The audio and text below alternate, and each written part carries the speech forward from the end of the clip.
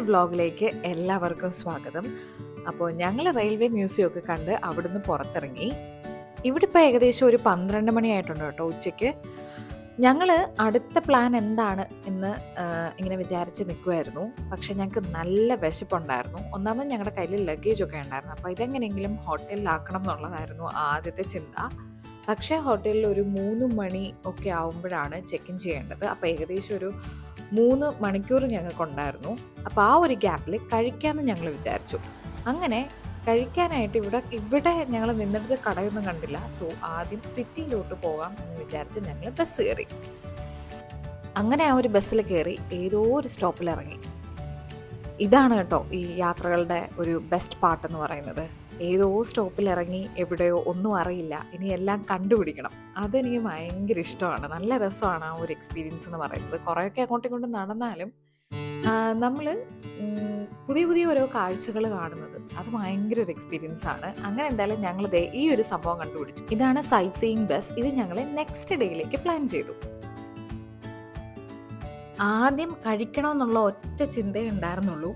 അതുകൊണ്ട് ഞങ്ങൾ ഒരു നല്ല കഴിക്കാനുള്ള സ്ഥലം തപ്പി പോവാണ്. എനിക്ക് ഈ ഒരു സ്ഥലത്ത് ഏറ്റവും കൂടുതൽ ഇഷ്ടപ്പെട്ടത് ഇതേപോലെ ചെറിയ ചെറിയ സ്ട്രീറ്റ്സ് ആണ്. ഈ സ്ട്രീറ്റ്സിന്റെ അപ്പുറത്തും ഇപ്പുറത്തുമായിട്ട് ഒരുപാട് ചെറിയ ചെറിയ കടകൾ കാണും. ഇത് ഭയങ്കര രസം കേട്ടോ കാണാനായിട്ട്. അങ്ങനെ ഞങ്ങൾ നടന്ന് നടന്ന് യോക്ക് മിൻസ്റ്ററിന്റെ ഫ്രണ്ടിലെത്തി. വേൾഡിലെ തന്നെ ഏറ്റവും ഇംപ്രസീവ് ആയിട്ടുള്ള കത്തീഡ്രൽസിൽ ഒരെണ്ണമാണ് ഈ ഒരു യോക്ക് മിൻസ്റ്റർ. ഏകദേശം ആയിരത്തി ഇരുന്നൂറ്റി ഇരുപതിലാണ് ഈ ഒരു കത്തീഡ്രലിന്റെ പണി തുടങ്ങുന്നത്. ഏകദേശം ടു ഫിഫ്റ്റി ഇയേഴ്സ് എടുത്തു ഇത് കംപ്ലീറ്റ് ചെയ്യാനെന്നാണ് പറയുന്നത്. നോർത്തേൺ യൂറോപ്പിന്റെ one of the largest gothic cathedrals ആണ് ഈ കാണുന്ന യോക്ക് മിൻസ്റ്റർ യോക്കിലുള്ള ഒരു കെട്ടിടങ്ങളും ഈ ഒരു കെട്ടിടത്തിന്റെ അല്ലെങ്കിൽ ഈ ഒരു കത്തീഡ്രലിന്റെ ഹൈറ്റിന് മേലെ ആവരുത് എന്നൊരു നിർബന്ധം കൂടെ ഉണ്ട്. അങ്ങനെ അതൊക്കെ കണ്ട് ഞങ്ങൾ വീണ്ടും നടന്നു. ഞങ്ങൾ യോക്ക് മിൻസ്റ്ററിന്റെ അകത്ത് കയറിയില്ല ഇനി ഒരു തവണ പോകുമ്പം അകത്തെ വീഡിയോ എടുത്തിട്ട് എന്തായാലും കാണിക്കാം. അങ്ങനെ ഞങ്ങൾ വീണ്ടും ഫുഡ് കഴിക്കാനായിട്ട് കടകൾ തപ്പി നടക്കുകയാണ്. നമുക്ക് പറ്റുന്ന ഫുഡൊന്നും ചിലപ്പം എല്ലായിടത്തും കിട്ടിയെന്ന് വരില്ല. അതുകൊണ്ട് തന്നെ ഞങ്ങൾ നല്ലൊരിടം തപ്പി നടക്കുകയായിരുന്നു. അപ്പോഴാണ് ദേ ഇത് കണ്ടത്.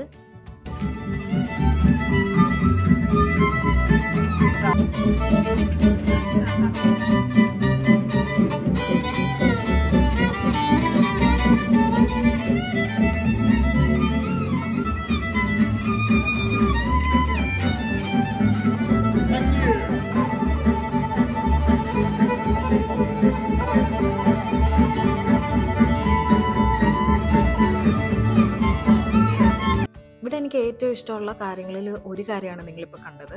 ഇങ്ങനെ നമ്മൾ സ്ട്രീറ്റ്സിൽ കൂടെ നടക്കുന്ന സമയത്ത് ഒരുപാട് ആർട്ടിസ്റ്റുകളെയൊക്കെ കാണാനായിട്ട് പറ്റും. കഴിക്കാൻ ഫുഡൊക്കെ മേടിച്ച് ഒരിടത്ത് വന്നിരുന്നപ്പോൾ ദേ അടുത്ത ഒരാൾ പാട്ട് പാടുന്നത് കേട്ടു.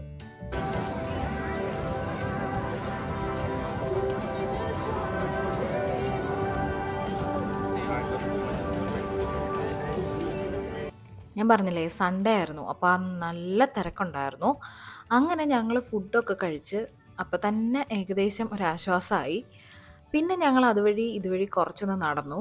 അപ്പോൾ ഞങ്ങൾ ഇനിയും ലഗേജൊക്കെ മാറ്റി വെച്ച് എവിടെയൊക്കെ വരണം എന്നുള്ളത് ഞങ്ങൾക്കൊരു ഐഡിയ കിട്ടി.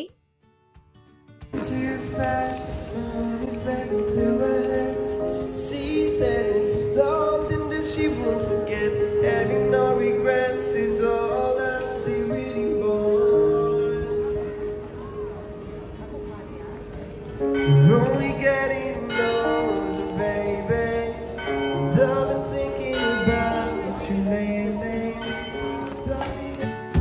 അതുവഴി ഇതുവഴിയൊക്കെ നടന്ന് ഞങ്ങളെന്തായാലും ഞങ്ങളുടെ ഹോട്ടലിലെത്തി. അപ്പം ദ ചേർച്ചിൽ എന്ന് പറഞ്ഞിട്ട് ഈ ഒരു ഹോട്ടലിലാണ് സ്റ്റേ ചെയ്യുന്നത്.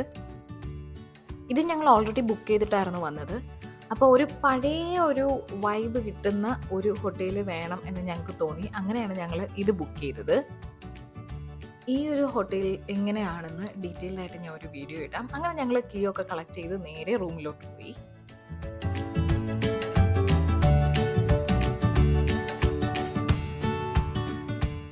അങ്ങനെ ഞങ്ങൾ റൂമിലെത്തി. ഭയങ്കര വലിയ റൂമൊന്നും അല്ലായിരുന്നു. വളരെ ചെറിയൊരു റൂമായിരുന്നു. പക്ഷേങ്കിൽ ഞാൻ പറഞ്ഞില്ലേ ഒരു പഴയ ആ ഒരു വൈബ് തരുന്ന ഒരു സെറ്റപ്പായിരുന്നു ഇത്. അതുകൊണ്ട് തന്നെ എനിക്ക് ഭയങ്കരമായിട്ട് ഇഷ്ടപ്പെട്ടായിരുന്നു. പിന്നെ അതേപോലെ തന്നെ എന്റെ ക്യാമറ അത്ര ക്ലിയർ അല്ലായിരുന്നു. അതുകൊണ്ടാണ് കേട്ടോ എന്റെ ലെൻസ് പൊട്ടിയിട്ട് ഒരു ചെറിയ പ്രശ്നം ഉണ്ടായിരുന്നു. അപ്പോൾ ഇതിനെപ്പറ്റി നല്ല ഭംഗിയായിട്ട് ഞാൻ ഒരു വീഡിയോ എടുത്തിട്ടുണ്ട്. അന്നേരം ഞാൻ അടുത്തതിനകത്ത് കാണിക്കാം. ഇതാണ് മെയിൻ എൻട്രൻസ്. എൻട്രൻസ് ഡോർ ഭയങ്കര വലിയ ഡോറൊക്കെയാണ് നല്ല രസമാണ്. അങ്ങനെ ഞങ്ങൾ എന്തായാലും റൂമിലൊന്നിരുന്ന് റിലാക്സ് ചെയ്തിട്ട് സമയം കളയാനില്ലാത്തത് കൊണ്ട് തന്നെ ഞങ്ങൾ വീണ്ടും വൈകുന്നേരം പുറത്തിറങ്ങി.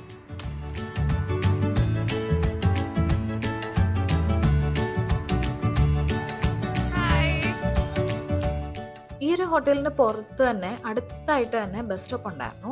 അങ്ങനെ ഞങ്ങൾ അതുവഴി ഇതുവഴിയൊക്കെ ചെറുതായിട്ട് നടന്ന് വീണ്ടും ഈ ബസ് സ്റ്റോപ്പിൽ വന്ന് നിന്നു. അങ്ങനെ ഇനി ഞങ്ങൾ വിചാരിച്ചു നേരെ സിറ്റി സെന്റർ പോയി. അവിടെ കടകളെല്ലാം നേരത്തെ ക്ലോസ് ചെയ്യും. കാരണം സൺഡേ ആണ്. സൺഡേസ് ഇവിടെ എല്ലാം ഒരു അഞ്ച് മണിയാകുമ്പം ക്ലോസ് ചെയ്യും.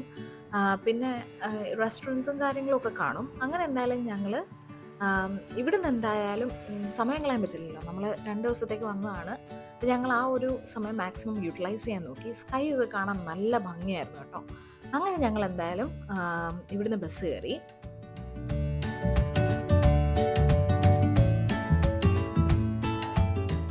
അങ്ങനെ ഞങ്ങൾ ആദ്യം ബസ് ഇറങ്ങിയ സ്ഥലത്ത് തന്നെ വന്നിട്ടുണ്ട്. പിന്നെ ഇവിടുത്തെ ഒരു മെയിൻ അട്രാക്ഷനാണ് ഇനി പോകുന്ന സ്ഥലം. ഈ കാണുന്നതാണ് സിറ്റി വാൾസ് ഈ കാണുന്ന സിറ്റി വോൾസ് ഒരു ഭയങ്കര ഹിസ്റ്റോറിക്കലി സിഗ്നിഫിക്കന്റ് ആയിട്ടുള്ള ഒരു സംഭവമാണ്. അപ്പോൾ ഈ ഒരു യോർക്ക് സിറ്റി സെന്റർ മൊത്തവും ഈ ഒരു സിറ്റി വോൾസിലാൽ ഇങ്ങനെ നമ്മൾ ചുറ്റപ്പെട്ട് കിടക്കുകയാണെന്ന് നമുക്ക് പറയാൻ പറ്റും. അപ്പോൾ ഇനി അതുവഴി ഒന്ന് നടന്നു നോക്കിയാലോ? നല്ല രസമാട്ടോ. ചില ചിലയിടത്ത് വരുമ്പം ഭയങ്കര നാരോ ആണ്. പിന്നെ ചിലയിടത്ത് അത്യാവശ്യം സ്പേസ് ഉണ്ട്. അപ്പോൾ നമുക്ക് എന്തായാലും നടന്ന് ഒന്ന് കാണാം. ഈ ഒരു വോക്ക് ഇല്ലാതെ അല്ലെങ്കിൽ ഈ ഒരു വോളിൽ കൂടെയുള്ള വോക്ക് ഇല്ലെങ്കിൽ സത്യം പറഞ്ഞാൽ യോർക്കിലെ യാത്ര കംപ്ലീറ്റ് അല്ല എന്നാണ് പറയുന്നത്. അത്രയും സിഗ്നിഫിക്കന്റ് ആണ്.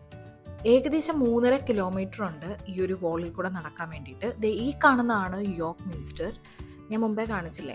അപ്പോൾ ഈ ഒരു യോക്ക് മിനിസ്റ്ററാണ് ഞാൻ പറഞ്ഞത്. ഈ യോക്കിലുള്ള ഒരു കെട്ടിടവും ഇതിന്റെ ഹൈറ്റിന് മേലെ ആവില്ല. അപ്പോൾ ഇവിടെ നിന്ന് ഈ ഒരു യോക്ക് മിനിസ്റ്ററിന്റെ ഈ ഒരു ഭാഗം കാണാൻ നല്ല ഭംഗിയായിരുന്നു. ഏകദേശം രണ്ട് മണിക്കൂറോളം എടുക്കും കേട്ടോ. എവിടെയും നിൽക്കാതെ ഈ ഒരു വോൾസിൽ കൂടെ മാത്രം നടക്കാൻ വേണ്ടിയിട്ടാണെന്നുണ്ടെങ്കിൽ രണ്ട് മണിക്കൂർ എടുക്കും എന്നാണ് പറയുന്നത്. സിറ്റി ഓഫ് യോർക്ക് കൗൺസിലാണ് ഇതിനെ മാനേജ് ചെയ്യുന്നതും മെയിന്റെയിൻ ചെയ്യുന്നതും എല്ലാം. അതുപോലെ തന്നെ തണുപ്പ് സമയത്ത് ഇത് മഞ്ഞൊക്കെ പൊഴിഞ്ഞ് കിടക്കുകയാണെന്നുണ്ടെങ്കിൽ ആ സമയത്ത് ഇത് ക്ലോസ് ചെയ്തിരിക്കുമെന്നാണ് പറയുന്നത്. അപ്പോൾ സേഫ്റ്റിക്ക് ഭയങ്കരമായിട്ട് അവർ ഇമ്പോർട്ടൻസ് കൊടുത്തിട്ടാണ് ഇതിനെ ഇങ്ങനെ നിർത്തുന്നത്. ഇവിടെയുള്ള ആൾക്കാരുടെ മിക്ക ഉള്ളവരുടെ കയ്യിലും ഡോഗ്സ് കാണും. പക്ഷേ ഡോഗ്സിനെ ഈ ഒരു വോൾസിന്റെ അകത്ത് അലൗഡ് അല്ല. അതവിടെ പ്രത്യേകം എഴുതി വെച്ചിട്ടുണ്ട്. പിന്നെ ഞങ്ങൾ കുറച്ച് സ്ഥലമുള്ള ഏരിയാസൊക്കെ വന്നപ്പോൾ ഞങ്ങൾ അവിടെ നിന്ന് പതുക്കെ ആ ഭംഗിയൊക്കെ ആസ്വദിച്ച് കുറേ ഫോട്ടോസൊക്കെ എടുത്തു.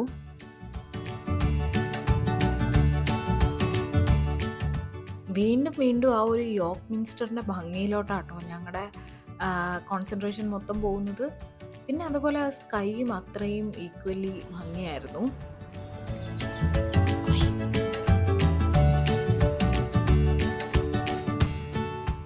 നാല് മണിയായപ്പോൾ തന്നെ അത്യാവശ്യം ഇരുട്ടിയിട്ടുണ്ടായിരുന്നു. പിന്നെ ഇരുട്ട് വീണ് കഴിഞ്ഞാൽ നമുക്കിവിടെ നിൽക്കാൻ പറ്റില്ല കേട്ടോ. ഇവിടെ ഒരു ഏരിയ എത്തിയപ്പോൾ അത്യാവശ്യം നല്ല സ്പേസ് ഉണ്ടായിരുന്നു. അപ്പോൾ ഇവിടെ നിന്ന് കഴിഞ്ഞ് കഴിഞ്ഞാൽ നമുക്ക് വേറെ ഒബ്സ്ട്രക്ഷൻ ഒന്നുമില്ല പിന്നെ ആൾക്കാരിടയ്ക്ക് വന്നാലും കുഴപ്പമൊന്നുമില്ല. അത്യാവശ്യം നല്ല സ്പേസ് ഉണ്ടായിരുന്നു. അപ്പോൾ ഞങ്ങൾ അവിടെ നിന്നിട്ട് സ്കൈയുടെ ഭംഗിയും ഒക്കെ വെച്ചിട്ട് കുറച്ച് ഫോട്ടോസൊക്കെ എടുത്തു. സന്ധ്യ ആയതുകൊണ്ട് തന്നെ ഞങ്ങൾക്ക് തിരിച്ചിറങ്ങാൻ സമയമായിരുന്നു അങ്ങനെ പിന്നെ ഞങ്ങളൊന്നും നോക്കിയില്ല. നേരെ തിരിച്ചു കിടന്നു. അത്യ തിരിച്ച് ആദ്യം ഇങ്ങോട്ട് വന്നപ്പം ഇത്രയും നടക്കണം എന്ന് അറിയില്ലായിരുന്നല്ലോ. തിരിച്ച് നടക്കാൻ അത്യാവശ്യം കുറച്ചുണ്ടായിരുന്നു. അങ്ങനെ ഞങ്ങൾ അവിടെ നിന്ന് പുറത്തിറങ്ങി ഇനി ഒരു സ്ട്രീറ്റിൽ കൂടെ എന്താണ് ആ രാത്രിയിലെ ഭംഗി എന്നറിയാൻ വേണ്ടി ഞങ്ങൾ വിചാരിച്ചു ഈ ഒരു സ്ട്രീറ്റിൽ കൂടെ ഇങ്ങനെ നടക്കാമെന്ന് അപ്പോൾ ലൈറ്റ്സ് ഒക്കെ ഇട്ട് നല്ല ഭംഗിയായിരുന്നു സ്ട്രീറ്റ്സ് ഒക്കെ കാണാൻ വേണ്ടിയിട്ട്.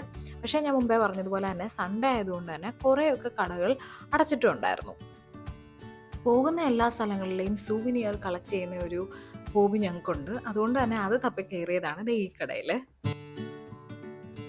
അങ്ങനെ ഞങ്ങൾ അവിടുന്ന് പുറത്തിറങ്ങി. വീണ്ടും ഞങ്ങൾക്ക് നല്ല രീതിയിൽ വിശക്കുന്നുണ്ടായിരുന്നു. അപ്പോൾ കഴിക്കാൻ നല്ലൊരു സ്ഥലം കണ്ടെത്തലായിരുന്നു അടുത്ത ടാസ്ക്. കറങ്ങി തിരിഞ്ഞ് എന്തായാലും ഞങ്ങൾ വീണ്ടും ഈ ഒരു യോക്ക് മിനിസ്റ്ററിന്റെ അടുത്ത് തന്നെ വന്നു. അങ്ങനെ അവിടെ നിന്ന് കുറച്ച് ഫോട്ടോസൊക്കെ എടുത്തു.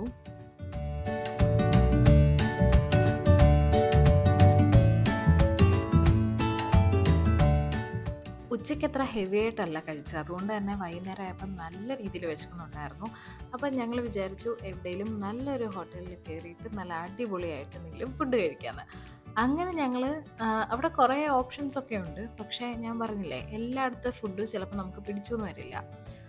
ഒന്നാമത് ഫ്ലേവറും കാര്യങ്ങളും ഒക്കെ നമ്മുടെ ഇന്ത്യൻ ഇതിൽ നിന്ന് ഭയങ്കര വ്യത്യാസമാണ്. എല്ലാം നമുക്കപ്പം ഇഷ്ടപ്പെടില്ല. പിന്നെ ഇതാണ് ഇവിടുത്തെ ഒരു ഫിഷ് ആൻഡ് ചിപ്സ് ഷോപ്പാണ് ഇവിടെ അത്യാവശ്യം നല്ല തിരക്കുണ്ടായിരുന്നു. ഇവിടുത്തെ ആൾക്കാർക്ക് ഇതൊരു ക്രേസ് ആണ് കേട്ടോ. അങ്ങനെ ഞങ്ങൾ എന്തായാലും ഒരു നേപ്പാളി റെസ്റ്റോറന്റിൽ കയറി ഇവിടെ നമുക്ക് പറ്റിയ ഫ്ലേവറിലുള്ള ഫുഡ് കിട്ടും ഉണ്ടായിരിക്കും എന്ന് വിചാരിച്ച് ഞങ്ങൾ കണ്ണടച്ച് രണ്ട് മൂന്ന് സാധനം ഓർഡർ ചെയ്തു. എന്നിട്ട് പിന്നെ ഞങ്ങൾ അത്യാവശ്യം ഒരു പതിനഞ്ച് മിനിറ്റ് വെയിറ്റ് ചെയ്തപ്പോൾ തന്നെ ഫുഡൊക്കെ കിട്ടി കേട്ടോ.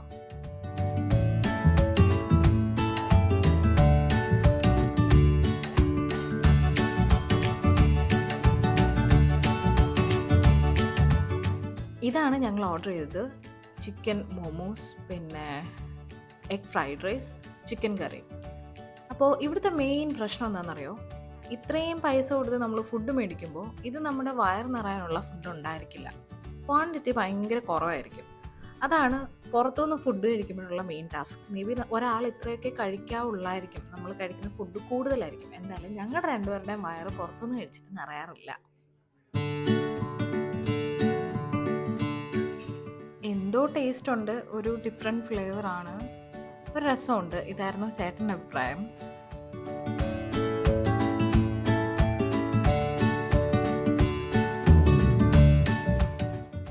നല്ല തിളച്ചിരിക്കുന്ന സാധനമായിരുന്നു.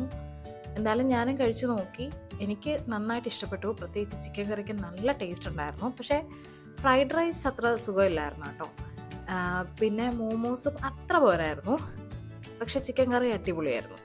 അങ്ങനെ ഞങ്ങൾ അതൊക്കെ കഴിച്ച് വയറ് അപ്പം ഫില്ലായതുപോലെ തോന്നി. വിശക്കുവാണെങ്കിൽ എന്തെങ്കിലും പിന്നീട് കഴിക്കാമെന്ന് വിചാരിച്ച് ഞങ്ങൾ വീണ്ടും ഇങ്ങനെ നടക്കുകയാണ്. അപ്പോഴത്തേക്ക് ലൈറ്റ്സ് ഒക്കെ ഇട്ടിട്ടുണ്ടായിരുന്നു. ലൈറ്റ്സ് ഒക്കെ ഇട്ട് കഴിയുമ്പോഴത്തേക്ക് ഭയങ്കര ഭംഗിയാണ്. പ്രത്യേകിച്ച് ഈ ചെറിയ സ്ട്രീറ്റ്സിൽ ഇങ്ങനെ ലൈറ്റ്സ് ഭയങ്കര രസമാണ് കേട്ടോ. നോർമലി എല്ലാ ദിവസവും ഈ കടകളൊക്കെ അടയ്ക്കാൻ സമയമായിട്ടില്ല. പക്ഷേ ഇന്ന് ഞാൻ പറഞ്ഞില്ലേ ഒരു സൺഡേ ആണ്. അതുകൊണ്ട് തന്നെ ഈ കടകളെല്ലാം ക്ലോസ് ചെയ്തിട്ടുണ്ടായിരുന്നു. അങ്ങനെ ഞങ്ങൾ തിരിച്ച് നടന്ന് ഹോട്ടലിലേക്ക് പോകുന്ന വഴിയാണ് ഈ ഒരു യോഗ് ആർട്ട് ഗാലറിയിൽ ഇങ്ങനൊരു സംഭവം നടക്കുന്നത് കണ്ടത്. അത് ഭയങ്കര അടിപൊളിയായിരുന്നു കേട്ടോ. Three D projection mapping use ചെയ്ത് ഈ ഒരു ഐക്കോണിക് ആയിട്ടുള്ള ഒരു ബിൽഡിങ്ങിന് ഇത്ര രസമായിട്ട് ലൈഫ് കൊടുക്കുന്ന ഒരു പരിപാടി. അങ്ങനെയൊക്കെ പറയാൻ പറ്റും. അത്രയ്ക്ക് രസമായിരുന്നു അത് കണ്ടു നിൽക്കാൻ.